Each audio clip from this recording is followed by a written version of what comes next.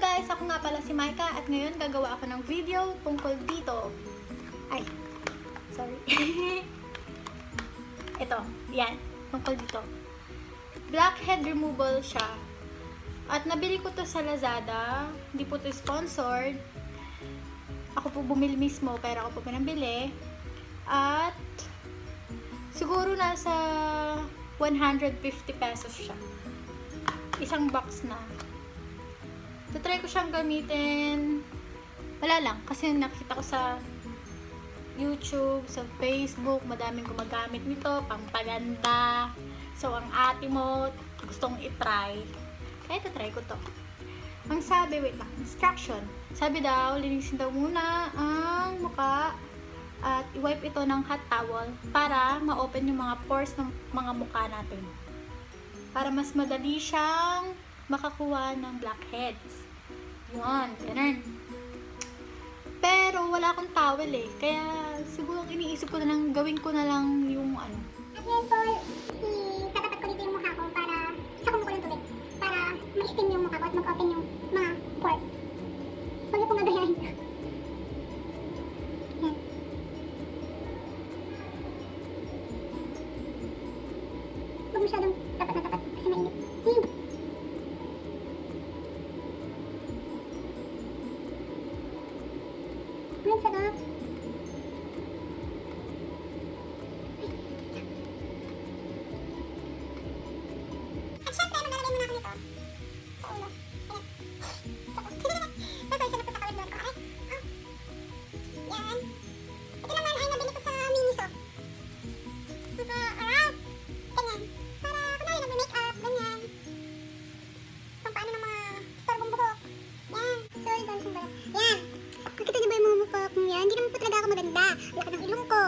Kilay ko, mapangit. Ayan, oh. Ito kasi naano ko to, eh, na-shame ko kasi yan, eh, kaya nagkaganyan eh. Ito mo, dami-dami kong pimples. Oh. Talaga ako maganda mga beshi. Nag-assume lang ako maganda.